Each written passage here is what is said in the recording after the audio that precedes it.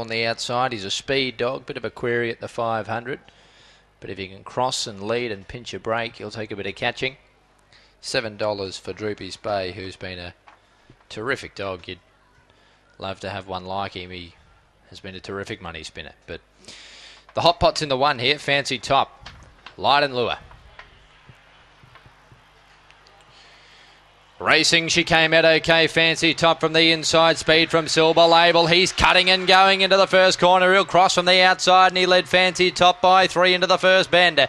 A gap away then to Crazy Cosmic who got dragged down. Logan John picking up ground. Tiger the weapon well back in company with Jarrell chiseling up on the inside. Then Droopy's Bay and last Awesome Jess down the side. Silver Label in front. This is where he's vulnerable. Fancy Top's coming. Silver Label straightened in front. Fancy Top's got him. Fancy Top goes home to win. The plunge comes off. Has beaten Silver Label. Logan John getting home for third and fourth photos.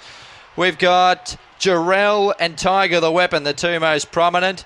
Then Droopy's Bay, Crazy Cosmic, and Awesome Jess in around 30 and 1.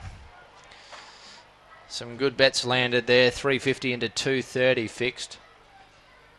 Anthony Azzopardi, the winning trainer. He didn't have much luck with his maiden. Uh, In uh, the first race, Deborah Lee. But atones here with this bitch, and that's been a good training performance. First up for two months, she wins in good, tough fashion. Running down Silver Label, who got the staggers late, but his run was still good. And Logan John, he's showing some signs in his last couple of runs.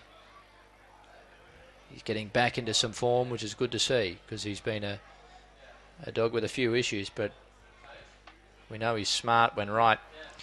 1832. 1832 Dapto. Winner is by Cosmic Chief from Armour Triel. Anthony Azzopardi trains. Second eight, Silver Label. He was good on speed. He tried his heart out. He just couldn't quite